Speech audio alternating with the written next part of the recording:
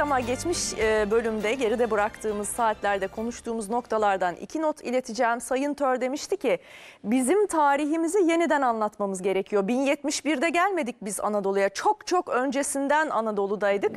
Hatta e, tarihimizdeki iki önemli lider vizyonu geniş. Biri Fatih Sultan Mehmet. O da İstanbul'u aldığında Truva'ya atıfla Hektor'un öcünü aldık demişti. Nitekim e, Mustafa Kemal Atatürk de bunu e, Hulki Cevizoğlu sağ olsun hatırlattı bana mesajla iletti bu notu.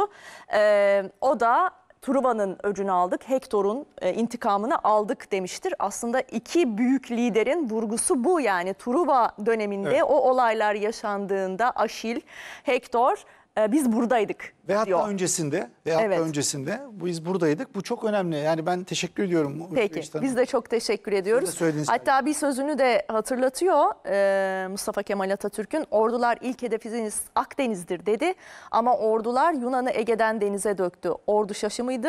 Hayır. Çünkü Atatürk oraya da Akdeniz diyor. Ege demiyordu dedi. Bu da önemli bir not. Kaldığımız nokta Razi sahibi Canikligil'le e, yorumlarken işte ABD e, Büyükelçiliği'nin bugün açıkladığı kararı vize işlemleri durduruldu. Konsolosluk hizmetleri durduruldu. E, şunu demişti yani bir takım sorunlar var E, ama mesela 15 Temmuz'un arkasında Amerika Birleşik Devletleri'nin olduğuna inanılıyorsa gerçekten o zaman Amerika Birleşik Devletleri ile ilişkiler kesilsin demişti. O da öyle değil diyordu Nedim Şener. Ya, Bilmiyorum sizin ekleyeceğiniz Şimdi var mı Sayın Yılmaz size de döneceğim. çok çok özür dilerim. Çok Bir özür de şeytanlaştırmayın Çok. yani. Amerika Birleşik Devletleri'ni şeytan gibi e, gösteriyor bu şimdi- söylenenler demişti. Buyurun. Şimdi hocam, eee, hepsini geçelim. Bugün askerlerimiz, polislerimiz şehit oluyor PKK tarafından. Ve bu haydut Amerika devletinin verdiği silahlarla benim askerim şehit oluyor. Bak bu haydut ve terörist Amerika Birleşik Devletleri, bu şeytandan da beter terörist Amerika Birleşik Devletleri'nin verdiği silahlarla Bey. benim askerim şehit oluyor arkadaş. Sözde Marksist-Leninist örgüte. Sözde. Şimdi onu bırak bu ülkeye en büyük ihaneti yapmış tarihinde haşhaşiler yani ne, ne zaman oldu bu? Ee, tarihte buna benzer bir ihanet daha görülmedi. 15 Temmuz gibi böyle böylesine yani FETÖ'nün operasyonlarına hukuk operasyonlarına biz maruz kaldık. Hükümete de yaptı. Ama 15 Temmuz gibi bir toplu ihaneti bu millet görmedi. Ve bu şerefsiz oğlu şerefsiz Fethullah Gülen'i Amerika Birleşik Devletleri denilen haydut devlet Pensilvanya'da tutuyor. Türkiye devleti hukuk çerçevesinde 7 kez 7 kez Fethullah Gülen'i istedi. Ama bir iade yok demişti Bak, Canik hayır, Ligil. o ayrı o anlaşma. Suçların iadesi anlaşması. 7 kez uluslararası iade talepnamesi gönderdi. en azından eğer azıcık bu Amerika denilen devlet devletse ya burada Fethullah Gülen diye bir isim yazıyor. Acaba bu adam Pensilvanya'da yaşayan, o çiftliğe yaşayan adam mı diye kimlik tespiti yapar değil mi? Çünkü 7 tane yüzlerce ko- kolisini vazgeçtim. Sadece ön raporları zaten yetiyor. Her şeyi anlatıyor. 65 klasör. Ha, bunu geçiyorum. Sadece bir yazı bile gitse ya Sayın Fethullah Gülen hakkınızda böyle bir şey var bu siz misiniz diye bırakın ifadesini almayı bırakın hapsetmeyi göz aldı. Bir kimlik tespiti dahi yapmadı bu ahlaksız devlet. Kıl Amerika kıpırdatılmadı yani. Bunu Tabii. bile bilmiyoruz yalnız Nedim. Ha, Neyi bilmiyoruz. bilmiyoruz ya? Belki de yaptılar, bilsek, bilmiyoruz. Bak bilsek FETÖ'cüler yaygarayı koparırdı. Şey e, yapsa Aa, bak- bak, FETÖ'cülerden hayır, öğrenirdik. Merak sana. etme çok iyi takip ediyoruz. Daha evvelki Ankara'daki... Ve bunu e, yapsa, bunu yapsa Adalet Bakanlığı'na bunu müjdeleyerek kendisi verirdi. Bak müttefikiniz olarak düşmanınız olan örgütü ifadesini alıyoruz derdi en azından. Şimdi Hayır, bırakalım hayır. bırakalım şeyi diğer unsurlarını. Bu haydut Yapılmış devlet olabilir diyor anladığım kadarıyla Canik. Hayır yok öyle bir şey. Ben olmadığını Bilmiyorum, söylüyorum. bilmiyorum. Adalet Bakanlığı'na isterseniz hemen arayalım soralım.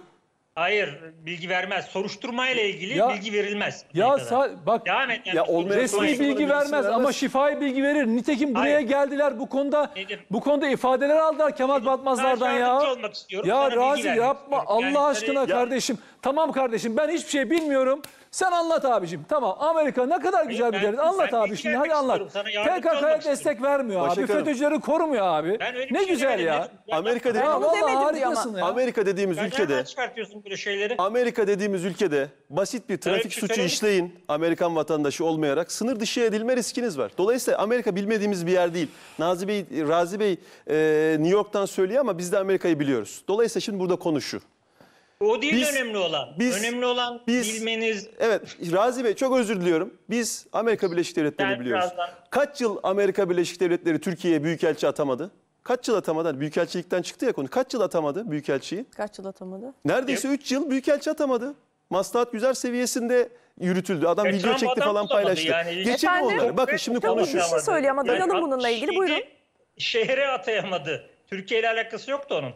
67 tane başkenti atayamadı Trump. Ya, t- peki Yani biz öyle kabul edelim. Öyle kabul edelim. Yani ilişkilerimiz çok Ama iyiydi. öyle 67 yere de atayamadı. Ya Türkiye o 67 yerden bir tanesi değil. Türkiye Amerikan ilişkilerinin hani sizin öncelediğiniz kadar kuvvetliyse. Şimdi burada önemli konulardan bir tanesi şu. Hani Amerikan düşmanlığı, Amerika'yı şeytan. Biz Amerika'ya en büyük dostluğu biz yapıyoruz şu anda doğruları söyleyerek. Amerikan halkının vergilerini toplayıp terör örgütlerine veren bir kongreden bahsediyoruz. Yönetimden bahsediyoruz. Amerikan halkının vergilerini toplayıp Orta Doğu'da insanları katleden bir yönetimden bahsediyoruz. Biz de diyoruz ki bunu yapmayın.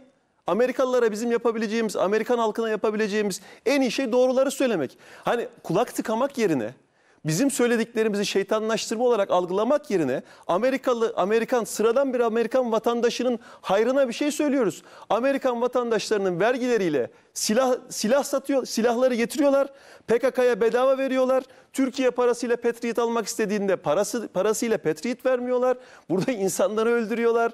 Amerikan silahları nerelerden çıkıyor? Bakın Amerika'nın E, bu tamam, yeni değil. tamam. Ya, Levent Bey, 1980'li doğru- doğru yıllarda söylüyorsun Razi Bey Amerika yeni değil. Bakın Bir Razi Bey, bir duyalım saniye. karşılıklı. Ben duymadım nedenini. Amerika, Razi Bey biz Amerika'yı. Amerika ile biz Amerika'yı yeni tanımıyoruz. 1980'lerin başında bir Oliver North vakası var. İran'a gizli gizli silah satıp onlarla Nikaragua darbesini finanse ettiği için Oliver North ne neyle suçlandı Amerika'da? Neden dolayı yargılandı? Aynı Oliver North iki sene önce Amerikan silah lobisinin başına geldi mi gelmedi mi? Bize Amerika'yı anlatmayın lütfen. Biz Amerika'yı biliyoruz. Biz Amerika ile dost olalım diye uğraşıyoruz ama Amerika bizimle dost olmak için uğraşmıyor. Bunları söylerken lütfen birazcık vicdanlı konuşalım. Bizim polislerimizin üzerine Fethullahçılar F-16'larla bomba attılar. Ucu nereden çıktı bunların? Yapmayın gözünüzü seveyim ya. Meclis bombalandı. Ucu nereden çıktı? İlla F-16'yı Fethullah Gülen'in mi kullanması gerekiyor? Tankları Fethullah Gülen'in mi sürme- sürmesi gerekiyor? Ya bakın Türkiye-Amerikan ilişkilerinde... Levent Bey, Sen bir o kadar duyalım. şey anlattın ki yani bu Dışişleri Bakanlığı'nı çok zor duruma sokacaksın bu sözlerinde. Yani Neyi? bir düşmandan Yunanistan'dan daha berbat bir düşmandan Ya bahsediyorsun bakın, sen şu bakın yani. Razi Öyle Bey, bir Dışişleri terörsüzlük Bakanlığı, ki. eğer bir şey söyleyeyim lütfen. Dışişleri Bakanlığı bundan dolayı zora girmeyecekse girmesin zaten. Elbette Yani zora gireceğiz. Türkiye'nin menfaatlerini. Türkiye'nin Yani menfaatlerini öncelemek için, doğruları söylemek için zora girmeyeceğiz de ne için yana. gireceğiz? Orada zora girmeyelim, burada zora girmeyelim. Nerede zora gireceğiz bu ülkenin menfaatlerini savunurken? tamam, ya yapmayın tamam. bunları. Lütfen Tamam, ben- birazcık, ben- ben şey birazcık yapmıyorum bakın. Ben sizi Ben şey anlıyorum. yapmıyorum. Sizin oturduğunuz yerden Tamam. bunların söylenmesi gerekiyor olabilir. Ama bizim oturduğumuz yerden maalesef bugüne kadarki Amerikan politikaları e, tehdit oluşturuyor. E, bizim oturduğumuz Hatta yerden böyle. bakış açınızdan öyle görüyorsunuz gibi siz, geliyor bana. Yani siz New York'ta, siz New York'ta, herkes- Razi Bey, siz New York'ta yolda yürürken bir canlı bombanın kendisini patlatma riski yok. Ama biz İstanbul'da DH'lılar yüzünden bu riski yıllarca yaşadık. Yapmayın ya, 11 Siz Washington'da yaşadım ben yürürken, siz ya. Washington'da ya lütfen lütfen biz Yapmayın, bunu 11 yaşadık. Ankara. Ankara garında ne patladı? Balon mu patladı Ankara garında? Nereden geldi bu silahlar? Nereden geldi bu bombalar? DH'lılar bunları nereden buldu? Yani PKK nereden rahat buluyor? diyorsun biz Yapmayın bunları rahat rahat lütfen. Ben sizi şu anda duymuyorum. Çünkü ben konuşmaya çalışıyorum. Peki lütfen bir, ama Razi Bey. duyalım bir cümleyle bir şey söylüyor. Buyurun ne dediniz tekrar Hayır, edin. önce siz rahat rahat yürüyorsunuz New York'ta dedi. Ben 11 Eylül Ben de yaşadım bir- burada. Ben de bir şey. Ha, ben 11 Eylül'ü yaşadım. ben diyor. burada. Hiç Ya, öyle Razi Bey 11 Eylül'ü yapan kim? 11 Eylül'ü yapan kim? siz söyleyin siz daha iyi biliyorsunuz. Yo ben nereden bileyim siz yaşamışsınız siz söylüyorsunuz. 11 bildiğim Eylül'ü yaptığı yaptı, iddia edilen yapmadı mı? 11 Eylül'ü yaptığı iddia edilen Taliban'la Pompeo geçen ay Taliban Afganistan'da değil, oturdu mu oturmadı Taliban? mı? Taliban değil nereden çıkarttınız E Taliban'ı? öyle söyleniyor işte. El-Kaide canım ne E Taliban? tamam işte yani Afganistan vesaire yani. Yapmayın bunu ya. Olur mu böyle bir şey yani? Ya Taliban'la ama sizin var? ama sizin New York Times'ta şu, Washington Post'ta bu çıktı dediğiniz medya organlarında e, 11 Eylül saldırısını CIA'nin kendisinin planlamış olabileceği de konuşuldu. Ya Pardon? dolayısıyla lütfen bakın Komplo teorisi bu ya, yapmayın komplo artık. teorisi o zaman o da komplo. O zaman ben de söylüyorum. e, bugün Amerikan elçiliğinin yayınladığı da komplo teorisi. S-400'e karşılık bunu Amerikan Büyükelçiliği de bunu yayınladı. Siz S-400'ü denerseniz sa öğlen sa- öğlen Cumhurbaşkanı denedik dedi. Akşam Amerikan Büyükelçiliği dedi ki bizde e, burada terör riski var dedik dedi. O zaman o da komplo teorisi. Yani bir şeyi yakalayınca veya onunla ilgili analiz yapınca komplo teorisi. Amerika yapınca gerçek biz söyleyince komplo teorisi. Lütfen Razi Bey birazcık elinizi Yani vicdanınıza dakika, koyun. Bu. Yani topraklarda 11 bu topraklarda insanlar Amerika'nın silahlarıyla hayatını kaybettiler. Bunun içinde Türkler de var, Kürtler de var, Çerkezler de var. Ne aklınıza ne gelirse Araplar da var. Yapmayın. Duyamadım. Yapmayın lütfen. Ya Biz birazcık Amerikan ben silahlarıyla savaşıyoruz sizden yani. şunu rica ediyorum Razi Bey. Tek bu ülkede söylediğiniz yaşayan şey birisi. şu- Yani terör örgütüne verdiği silahlardan bahsediyor zannediyorum. Evet, onu söylüyorum. Tamam Vermedi yani mi? bu ama siz tamam bu olay doğru. Amerika yanlış yaptı. Amerika'da da eleştiriliyor bu. E evet tamam. yanlış yapıldı. Biz de bunu söylüyoruz. Başka bir şey kaldı. söylemiyoruz ki. Mecbur kaldık diyor. Çünkü Kim verdi? Ya neye mecbur bize. kaldı? Burada şerefli, namuslu Türk ordusu Pardon, varken Sakin, mücadele sakin edebilmek konuşun. için, karşı- silip süpürecek Türk ordusu varken PKK'nın armasını da insan biraz utanır ya. Koskoca general omzuna 20 dolar maaşla çalıştırdığı teröristin armasını takıyor. Ya böyle devlet mi olur? Böyle ordu mu olur? Yapmayın İşte bunları yani. Siz Amerikalıların Trump'ta, menfaatini önceleyecekseniz o- o bunları söyleyin. Ma- Doğruları Mazlum söyleyelim. Saray'a Doğruları söyleyelim. edildi. Yani Tamam. mazlum Muazzam Şimdi Kobani gördüm gibi. sizi Erdoğan Bey. mazlum, mazlum Kobani gibi bir Mazlum Kobani gibi bir soytarıyı Beyaz Saray'a getiren bir ülkeden bahsediyoruz ya. Yapmayın Getirmediler bunları. de. Yapmayın. Getirmediler de Trump davet etti. Pompeo da hop ne Ya yapıyorsun nasıl Olacak getirmediler? şey- Mazlum Mazlum. Kobani'nin Yani Mazlum Kobani'nin Amerika'ya gidecek parası yok. Nasıl getirmediler? Bindirdiler Amerika'nın kargo uçağına getirdiler. Ama işte o Trump'ı Neyle da gitti çok Mazlum seviyor Kobani? bir taraftan. Mazlum Kobani Seçilsin Türk diye Hava Yolları'nın bayılıyoruz uçağına yani. binebilir mi? Neye binecek? Amerikan Ama Levent kargo Bey, uçağıyla gitti. o Getirdiler Trump'ı da tabii. çok sevmiyor muyuz? Mazlum Kobani'yi tr- Beyaz Saray'a çağırdı. Bu Trump'ı da çok sevmiyor muyuz? Ülkenizi, ekonominizi batıran, batırırım diyen. Razi Bey Ee, kim Trump da seviyor? şu an Siz çok Razi Bey kim seviyorsa onunla konuşun. Biz Vallahi Türkiye ya. Cumhuriyeti'nin. Türkiye Biz sevmiyoruz diyorlar. sev- Çok seviyorum. Sevgi Ben diye bir şey yok. Bir ya. dakika Ya kimi biz- seviyorsun? Biden'ı Ya- istiyorsunuz, ya- bakın Razi Bey. seviyorum ben. Ben sizi çok iyi anlıyorum. Bakın bakın ben sizi çok iyi anlıyorum da bakın seviyorum. burada şöyle bir durum var. Bakın ben sizi çok iyi anlıyorum. Ben sizi çok iyi anlıyorum. Ne söylemeye çalıştığınızı da anlıyorum. Niye söylemeye çalıştığınızı da anlıyorum. Tamam. Fakat bu söylediklerinizin Türkiye-Amerikan ilişkilerine hiçbir faydası yok. Doğru değil çünkü.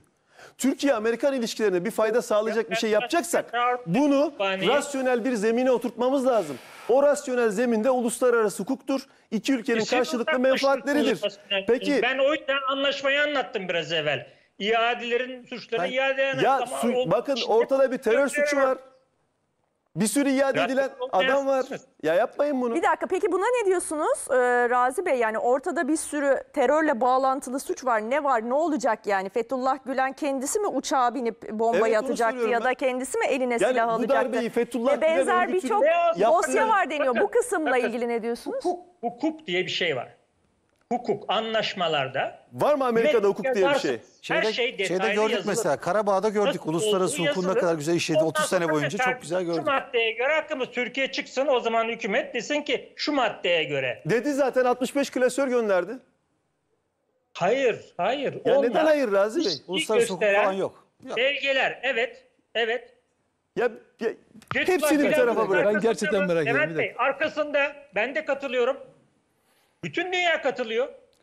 Vallahi ben de Eminim gülmekten Amerika'da katılıyorum. katılıyor. Yani Ama eminim Amerika da buna katılıyor. Fakat bu iadenin olması için iadenin suçların iadesi anlaşmasında siyasi suçların Bu bir siyasi suç değil Razi Bey. Bir darbe Burada terör zaten- suçu var. Bu bir siyasi suç değil. Siyasi suç değil Razi. Bakın bunu böyle yumuşatamazsınız. Siyasi suç Bunu değil, böyle nazik Razi. göstermeye çalışamazsınız. Yani- bu siyasi bir suç değil.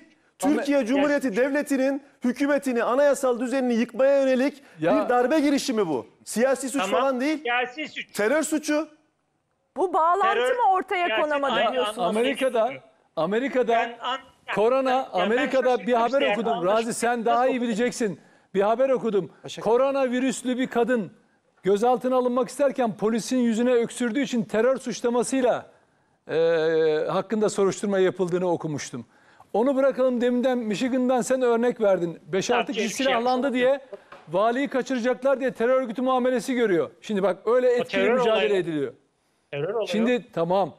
Türkiye'de uçaklar kalkmış inmiş. Bak NATO karargahlarında Tamam, o da NATO terör karargahlarında olayı. Bak, bu anladım. bu darbeye karışmış. O da terör oluyor. Evet Fethullah Tamam, Gülen bu- bu işin arkasında doğru. Tamam. Bu darbeyi yapmaya yap- Evet. yapmaya kalktı. İnsanların ölümüne sebep oldu. Bu Evet. doğru. Ben Evet. buna inanıyorum. Adil Öksüz, Delil Adil Öksüz bu darbe görüyorum. Adil Öksüz de bu darbe planını Ya onaylatmak için Pensilvanya'ya geldi. Bu da doğru mu? için Anlaşma metnine bakmak gerekiyor. Üstad, Anlaşma metninde de diyor ki Razi, bu tip suçlara Bu darbe bu darbenin bizzat arkasında Fethullah Gülen isimli şahıs var. Adil Öksüz darbe planlarını e, onaylatmaya Pensilvanya'ya geldi. Amerikan doğru. senin haberinde zannederim Hürriyet'te değil mi? E, gümrük yani o her Kemal şey Batmaz da giderken zaten bir, bir seferinde de e, Fethullah Gülen'le görüşmeye gidiyorum diye beyanı beyanı var. Kendinin beyanı var. Dolayısıyla bu işin içinde olduğu belli.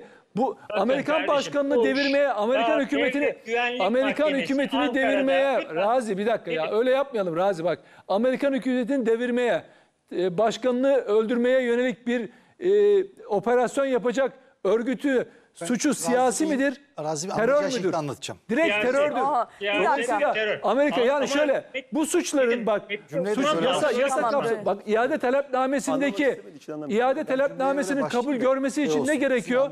şey. Burada işlenen suçun Amerika yasalarına göre suç olması gerekiyor.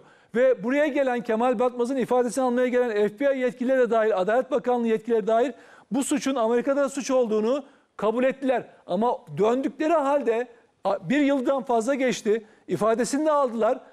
Ama dönüp tek bir Fethullah Gülen'e soru sormadılar. Sorsalardı bunu Ya, zaten dünyaya kendileri duyururlardı. açıklayayım ben. Çünkü bu işi biliyorsun ben e, yani daha bu Fethullah Gülen'in hakkında kitabını da yazdım. Amerika'daki bununla ilgili bütün gizli belgeleri de açıklığa çıkaran benim.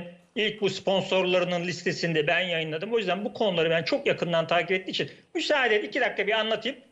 Te- Tekrar devam edelim. Şimdi biliyorsun Devlet Güvenlik Mahkemesi Nuh Mete Yüksel savcı o dönemde zaten Fethullah Gülen'in Türk devletini yıkmaya, işte darbe hazırlığı yapmaya çalıştığını, rejimi değiştirmeye çalış- e, çalıştığını e, iddiasıyla e, iddianame hazırladı. E ne oldu? Daha sonra bak biz bilmiyorduk bunu. Fethullah burada işte e, Adalet Bakanı, Dışişleri Bakanlığı, bizim Dışişleri Bakanlığı, Amerikan Dışişleri Bakanlığı'na belgeyi veriyor. Amerikan Dışişleri Bakanı, Amerikan Adalet Bakanlığı'na veriyor. Adalet Bakanlığı Pensilvanya'daki bölge savcısını gönderiyor. Fethullah Gülen'le e, Fethullah Gülen'i sorguluyor. Ama nasıl sorgu? Ee, ifa- ifadesini okumuşsundur. Sade suya trit mi derler? Ben. Hiçbir şey olmayan bir ifade değil mi? Okudun sen de.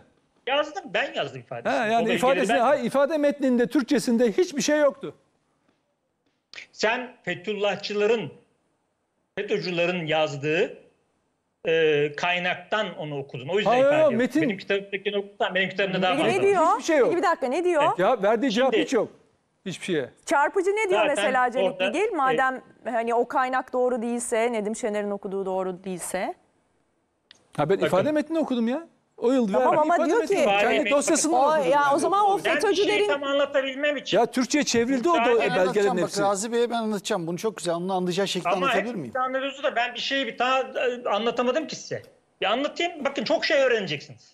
Çok şey öğreneceksiniz. Sağ olun. Ben Ben- bunların hep içine ben- girdim. Mahkemeleri takip ettim. Öğrenmeye hasret bir Fethullah insanım, öğrenirim. yargılayan savcıyla konuştum. Hakimle konuştum. Fethullah Gülen'in avukatıyla konuştum. Bu davaların hepsini ben mahkeme salonlarına girdim, takip ettim. Bunları hep yazdım. Belgelerini aldım. Amerika'nın ilk gizli belgelerini ben yayınladım. Bunların hepsini bildiğim konular. Havadan konuşmuyorum. Hepsini de yayınladım. Kitabımda da var. Okudun. Sen de yazdın benim kitap hakkında güzel şeyler. Müsaade et anlatayım. Hat- hem hatırlatmak olur, iyi olur. Yani o, e, izleyicilerimiz de biraz öğrenir. Şimdi bakın e, Fethullah Gülen orada tabii bir takım sorular soruyor ve sorular yanında avukatı var. Avukatı bir takım e, şeyler veriyor, cevaplar veriyor ama şimdi ben ondan evvel şunu anlatacağım. O dönemde e, daha sonra Fethullah Gülen yeşil kart başvurusu yapıyor. Yeşil kart başvurusu yapıyor Amerika'ya. Ve yeşil kart başvurusu bekletiliyor. Yani cevaplamıyorlar. Ne reddediyorlar, yani Amerika'da oturma izni başvurusu yapıyor. Ne e, kabul ediyor Amerika, ne reddediyor. Ne yapacaklarını açıkça bilemiyorlar. Peki bu hukuksuz Sonra- değil mi? Anlat- Yani anlat- Razi bak bu, bu, bu bile Dedim, bu anlatayım çok çok dedim, bak yapma. nokta nokta gidelim. Bak sen yine devam edeceksin. Bir dakika. Bak bekletmesi bile oturma izni bitmiş birisini bekletmesi bile hukuksuz değil miydi? Hayır, oturma izni bitmemişti. Yani Oturma sen izni dedin- bitmemiş. Green ben Card çok ne için? detaylı Çalışma için mi Green Card? Bilmiyoruz Bakın Razi Bey. eğer zaten Green Card ne için? baş- Yeşil kart ne için diye Green soruyor Card ne için alınıyor Razi oturma Bey? izni, Ee, sürekli oturma Sayın izni. Yılmaz. Oturma Sürekli izni diyor. oturma izni. Neye istinaden sürekli Yani oturma izni şekilde istiyor? keserseniz anlatamam. Yok ben soruyorum merak Bu ettiğim konuyu için en soruyorum. iyi bilen insan benim Türkiye'de. En iyi bilen. Dinlerseniz anlayacaksınız. Dinleyin, anlatayım ama müdahale etmeyin. Sor her şeyi söyleyin, her türlü sorunuza cevap vereceğim. Bakın, Yeşil kart başvuru, başvurusu oturma izni yani Amerika'da oturma izni başvurusu bulunuyor ve ona başvururken de şey e, olağanüstü yetenekli statüsünden başvuruyor. Bu olağanüstü yetenekli statüsü öyle olağanüstü falan Einstein olmanız gerekmiyor. Yani bunu buradaki Türk gençler, öğrenciler de e, yapabiliyor. Herhangi bir yerde hakkınızda bir yazı çıktıysa, bir yerde bir ödül aldıysanız o yetiyor. Yani bu e, din adamı statüsünden başvuruyor. Amerika vermiyor. Şimdi biz bunu nereden öğrendim ben bunu? Bunu nereden öğrendim? Fethullah Gülen Tam dinliyorduk ki e, Razi Bey'in arzu ettiği gibi bağlantı gitti. Ee, e, sesim geliyor mu? ha şimdi geliyor. Şimdi geliyor. Alo.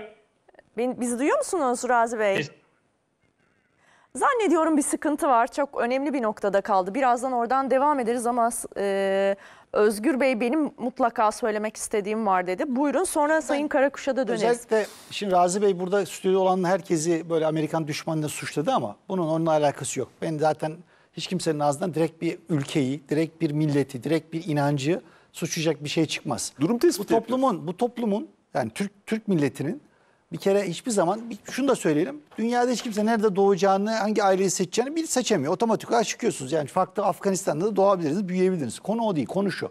Şimdi bizim Orta Doğu değil, güney kesimimizde, Irak ve Suriye'de yıllardan beri uğraştığımız bir PKK problemi var.